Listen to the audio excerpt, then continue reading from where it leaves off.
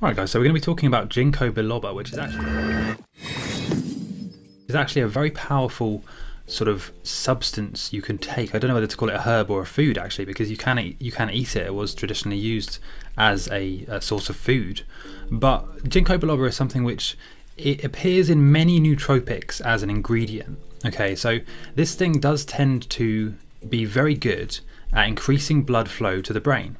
So it's been used in all sorts of nootropics in the past. It's been used in all sorts of nootropics in the past. It's a very effective thing that you can use to aid lucid dreaming.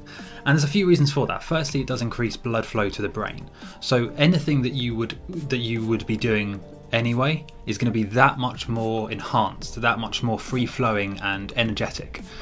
So whatever you, whatever substances you were taking before, if you were even taking any lucid dreaming supplements, they're going to be enhanced because of that blood flow to the brain. The actual trees themselves, the actual ginkgo trees, are fairly big. They're like 20 or 30 meters high, which is massive, right? And they, you know, they grow all over the world. Sometimes in Belgium, sometimes China. They, they can be found pretty much anywhere. The leaves of this interesting tree can be taken in the form of a supplement. And it's not just supplements. You could have it. You, you, can make it into a tea. You could smoke it. I think. But I think the best way is just to have a supplement, just to take it in a capsule format. You know, like a plant cap or something, a, a soft gel tablet, which you can very easily take. There's a few, like I said, there's a few reasons why you would want to take ginkgo biloba. Firstly, is for the nootropic benefits. Okay, so it's actually an ingredient in fairly large numbers of nootropics around the world. I think it's actually. Is an ingredient here? It's an ingredient in this nootropic, which is uh, OptiNeuro. This is a nootropic that I've been taking for a long time. This is a, like a cognitive enhancer. It makes your brain function better, faster, more effectively, and this actually includes ginkgo biloba. Okay, so 3,750 milligrams of active ginkgo biloba in one dose of this.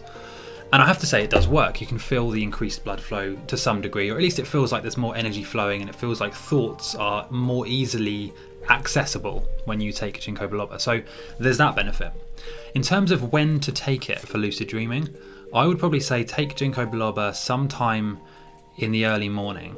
So not only not only when you first go to sleep in terms of to increase blood flow during your sleep, but I would probably suggest to split the dose up into two. So have one dose as you're going to sleep in the evening, and then have another dose in the early hours of the morning if you're doing something like wake back to bed or you know something like this. That is what I would suggest to do. That's probably the best way of of doing it. So you can actually get ginkgo biloba in uh, quite a few places. There's loads of places that sell it online. I will put a link in the description. If you go and click the link in the description, you will go to you'll be taken to what I consider the best place to buy ginkgo biloba. I will also include a link to a blog post I wrote about it because I like to write blog posts and I've written a lot more detail I think uh, about ginkgo biloba in my blog post. So go and check that out and I'll see you next time.